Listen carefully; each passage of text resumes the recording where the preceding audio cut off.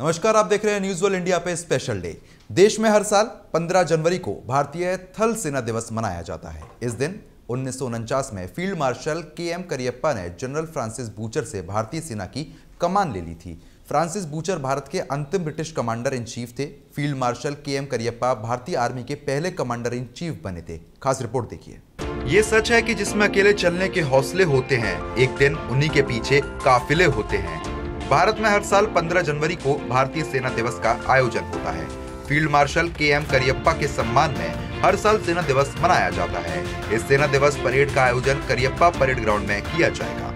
इसकी सलामी थल सेना अध्यक्ष लेते हैं। भारत में पहला सेना दिवस 15 जनवरी उन्नीस सौ उनचास को मनाया गया था।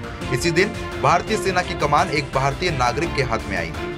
ये वही दिन है जब भारत के पराक्रम के आगे ब्रिटिश हुकूमत ने घुटने टेके थे और फ्रांसिस बूचर ने भारतीय सेना कमांडर इन चीफ का पद lieutenant general K M Cariappa को सौंपा था।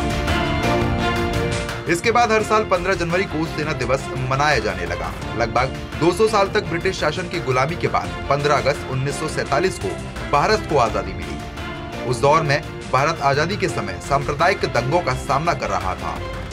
और शरणार्थी पाकिस्तान से आ रहे थे और कुछ लोग पाकिस्तान की ओर पलायन कर रहे थे। इस प्रकार के अराजक माहौल के कारण कई प्रशासनिक समस्याएँ उत्पन्न होने लगी। इस दौरान स्थिति को नियंत्रित करने के लिए सेना को आगे आना पड़ा, ताकि विभाजन के दौरान शांति सुनिश्चित की जा सके।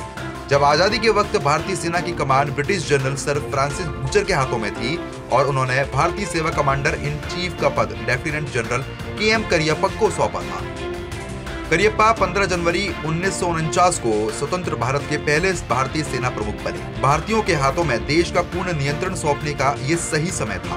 भारतीय सेना की उत्पत्ति ईस्ट इंडियन कंपनी की सेनाओं में हुई थी, जिसे बाद में ब्रिटिश इंडियन आर्मी के रूप में जाना जाता था। स्वतंत्रता के बाद इसे राष्ट्रीय सेना के रूप में जाना जाता है। भारतीय सेना की स्थापना लगभग 125 साल पहले 1 अप्रैल अठारह को अंग्रेज़ों ने की थी।